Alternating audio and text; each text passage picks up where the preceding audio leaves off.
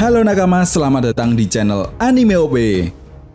Ya, setelah pertempuran besar di negeri Wano berakhir, tentunya kita semua dibuat penasaran tentang kelanjutan keseruan cerita apa yang akan dilalui oleh kelompok bajak laut topi jerami di chapter berikutnya. Nah, sebelumnya di chapter 1053 ada beberapa hal menarik yang terjadi, yaitu letak senjata kuno Pluton ternyata berada di negeri Wano. Selain itu, Admiral Ryukugyu yang sudah mulai bergerak ke ibu kota bunga untuk membawa kepala dari sang baka Sencho Mugiwara Luffy Lalu yang tak kalah menarik, di akhir chapter 1053 kemarin adalah posisi Yonko baru telah resmi diumumkan. Ya, sesuatu hal yang sangat mengejutkan yang tidak sedikit yang menyadari jika Bagi akan menduduki kursi Yonko.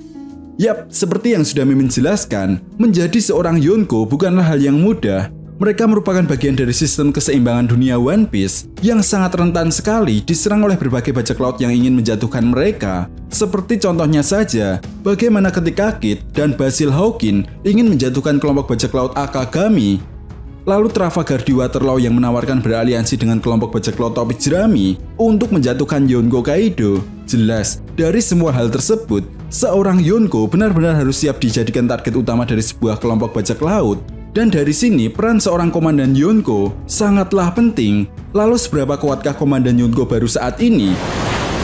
Oke, sebelum masuk ke pembahasannya, jangan lupa untuk like video ini ya bosku, sebagai dukungan kalian semua untuk channel ini ke depannya. Nah, jika sudah, mari kita mulai.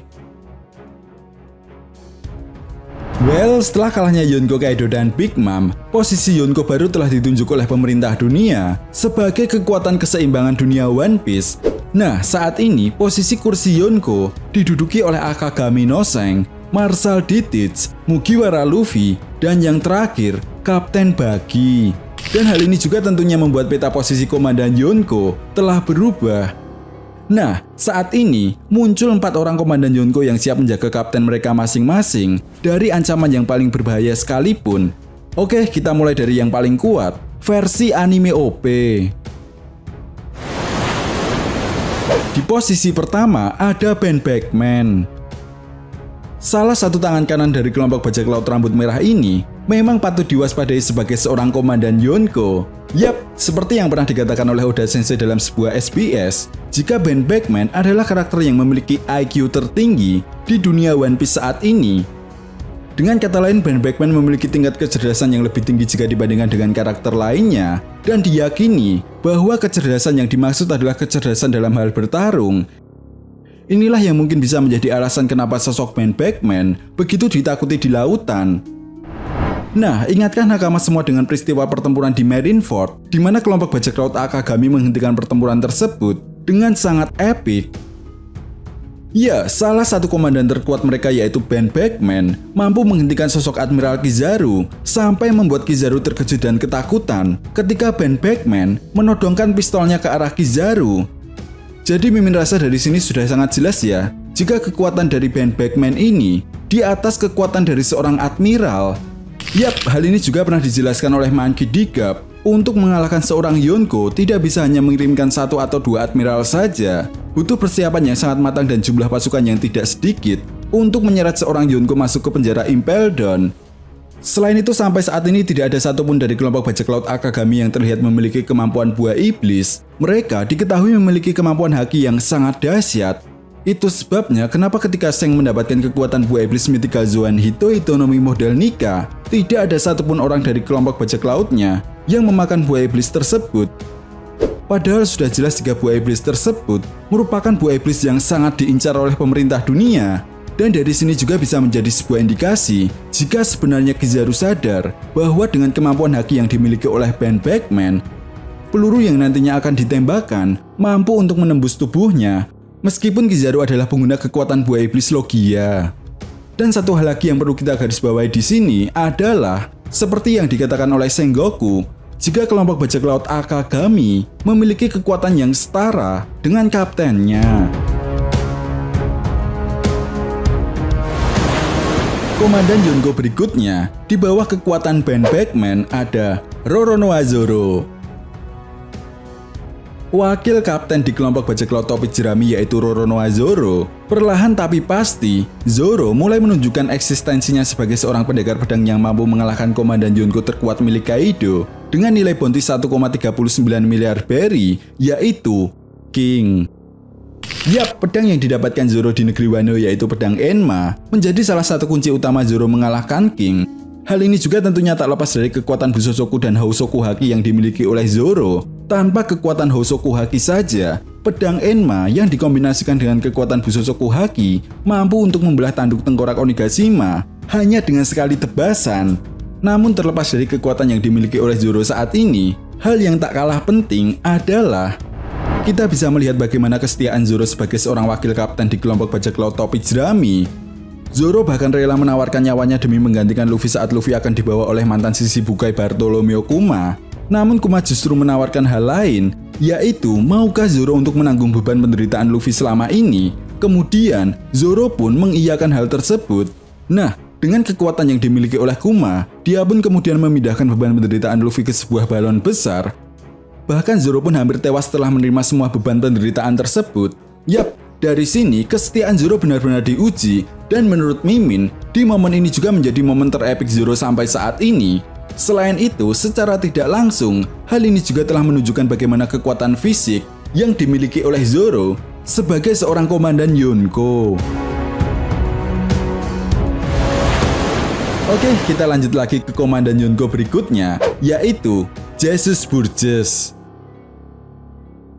Divisi pertama sekaligus wakil kapten di kelompok bajak laut Kurohige ini memiliki julukan champion atau si petarung juara. Hal ini juga tak lepas dari penampilannya yang memiliki perawakan yang sangat besar dan dipenuhi dengan otot. Nah, kemampuan yang dimiliki oleh Jesus Burgess sebenarnya hanya kemampuan bertarung bebas yang mengandalkan kekuatan fisik dan ototnya. Kekuatan fisik yang dimiliki oleh Jesus Burgess tidak bisa dianggap remeh. Kita bisa melihat saat kelompok bajak laut Kurohige melawan Ace, Jesus Burgess terlihat mampu mengangkat sebuah bangunan utuh dan melemparkannya kepada es.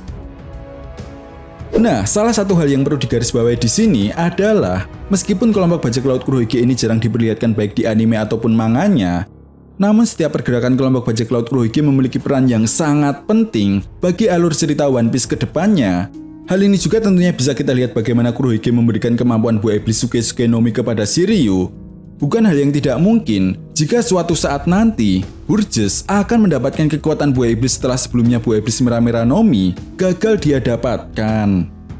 Jelas dari sini hanya tinggal masalah waktu saja bagi Kurohige untuk mendapatkan kekuatan buah iblis yang sangat cocok untuk Burgess atau mungkin apa yang pernah dikatakan oleh Kurohige pada manga One Piece chapter 957 sebenarnya adalah untuk mengambil kekuatan buah iblis merah-merah Nomi yang dimiliki oleh Sabo saat ini karena seperti yang kita tahu kedatangan Admiral Ryukugyu pada manga One Piece chapter 1053 ke negeri Wano bisa menjadi sebuah indikasi jika Sabo saat ini sedang tidak baik-baik saja. Berikutnya, komandan Yonko yang terakhir adalah Mohji. Mohji adalah wakil kapten di kelompok bajak laut Kapten Bagi yang saat ini telah menjadi kaisar lautan atau Yonko Well, posisinya sebagai seorang wakil kapten membuat Mohji menjadi seorang komandan Yonko Bagi. Nah, Mohji sendiri memiliki julukan sebagai si penakluk hewan buas. Yap, sesuai julukannya, Mohji sangat ahli sekali dalam menjinakkan hewan buas. Contohnya saja, dia memiliki seekor singa peliharaan yang bernama Richie. Nah, Richie biasanya diperintahkan oleh Moji sebagai senjata utama untuk melawan musuhnya. Kekuatan Richie pun tidak bisa diremehkan begitu saja, Bahkan Luffy dan Nami pun cukup kesulitan ketika melawan Richie saat di Arts Orange Town. Selain itu meskipun memiliki penampilan layaknya singa yang sangat buas, namun Richie terkadang berperilaku sebagai seekor kucing yang sangat menggemaskan dan terkadang dia juga berperilaku atau bertingkah konyol, yaitu ketika dia ingin menjadi seorang kapten di sebuah kelompok bajak laut. Nah, setelah time skip, sosok Moji dan Richie memiliki perubahan yang sangat besar mereka berdua saat ini terlihat lebih gendut dan berisi. Nah, terlepas siapa komandan Yonko terkuat saat ini, peran sang kapten dan kelompok bajak lautnya lah yang akan menentukan siapa yang layak untuk menempati singgasana kosong saat ini. Karena pada dasarnya, cepat atau lambat, mereka semua akan saling bertemu dalam sebuah pertemuan terbesar sepanjang sejarah dunia One Piece, yaitu Perang Tahta. Dan perlu diingat, apa pun cara yang mereka lakukan demi memenangkan pertempuran tersebut adalah hal yang sah. Karena dalam sebuah pertempuran tidak ada yang namanya curang. Well, itu tadi merupakan empat komandan Yunko baru saat ini. Jadi bagaimana menurut nakama semua? Jika kalian punya pendapat lain, silahkan berikan pendapat kalian di kolom komentar. Dan jangan lupa untuk like, subscribe, dan share video ini. Oke, sampai di sini dulu pembahasan kita kali ini, and see you next time.